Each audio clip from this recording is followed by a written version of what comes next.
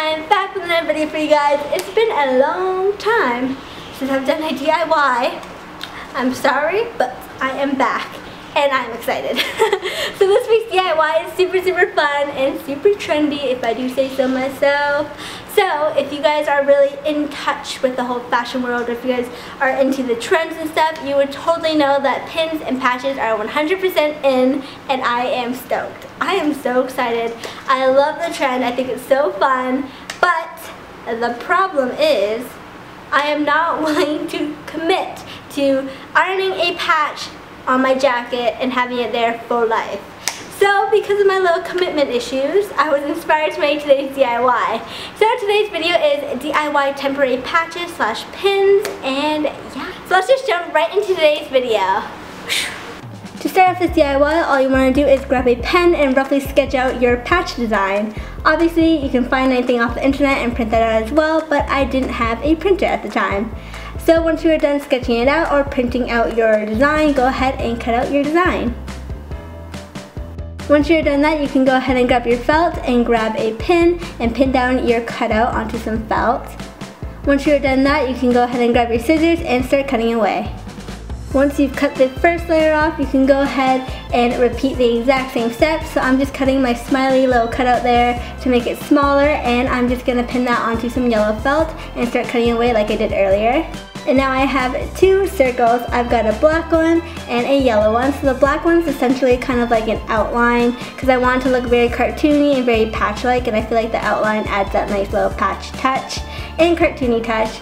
Anyways, all you want to do is glue the yellow part of the smiley onto the black part and grab a needle and thread and do the most basic stitching out there.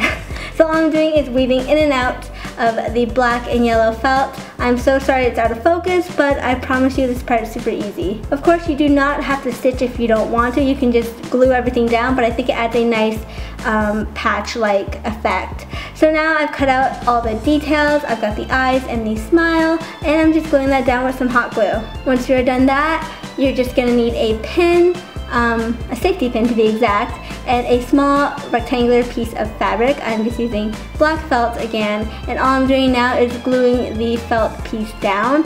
You are not gluing the safety pin, you are gluing the felt down on top of the safety pin so that the safety pin can move freely still. And here you are. You've got yourself a nice little pin patch thingy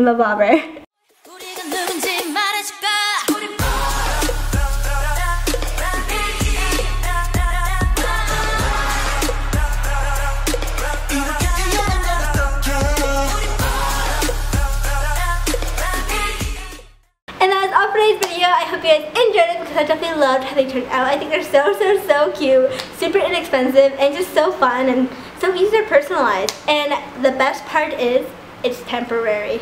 Yes, girl, if you have commitment issues, I got you.